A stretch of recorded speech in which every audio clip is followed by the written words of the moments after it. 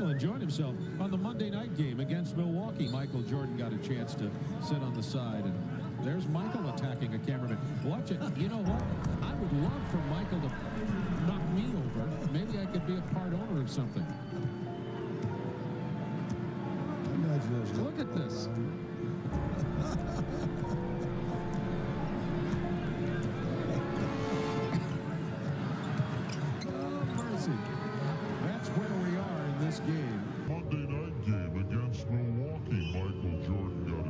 wants to sit on the side. And there's Michael attacking. gonna Knock me over. Maybe I could be a part owner of something.